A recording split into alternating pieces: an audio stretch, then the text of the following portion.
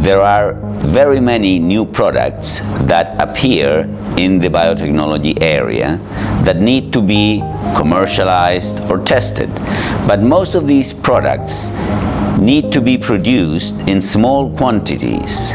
So people who develop these products tend to go and hire pilot plants or small production plants in order to produce them. This is how the concept of a multi-product batch plant appears. A few years ago, one of my students had the opportunity to go to Berkeley and work in a company that had such a pilot plant or such a plant.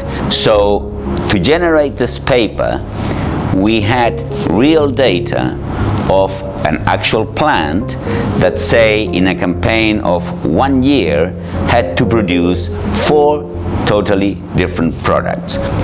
Now with my student Gabriela Sandoval, who is the main author of this paper, we worked at developing modern tools in order to study the optimization using computer techniques and modern mathematical techniques in order to optimize the equipment in such a plant.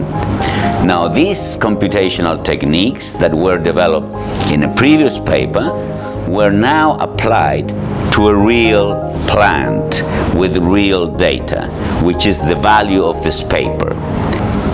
So now Gabriela is going to explain with much more detail the main novelty of this paper, the methodology, the novel methodology she developed and how this has an impact or will have an impact, we hope, in the biotechnology industry.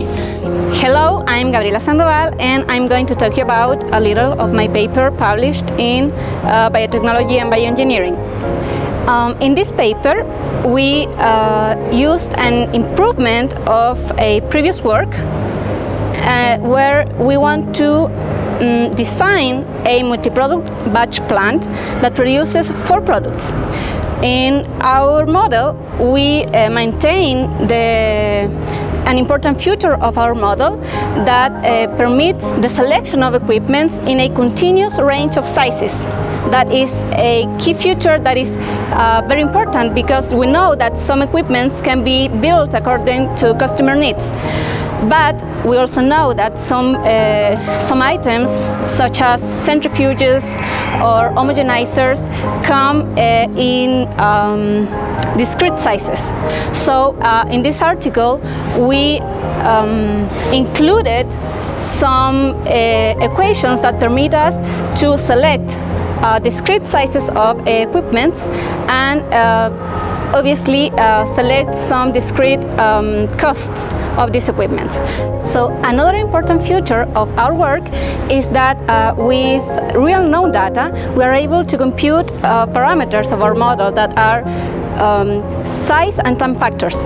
So with this, we can now uh, apply our model to real data and we can design a multi-product batch plant that is able to produce four products uh, with 44 stages um, of downstream processing and um, the more important is that our plant is not oversized.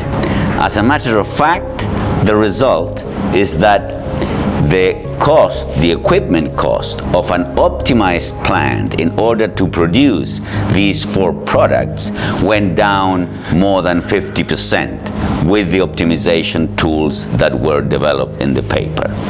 The results of my paper are quite impressive, so you're invited to download it and if you have any comments or doubts, you can uh, write me right here uh, to my email address.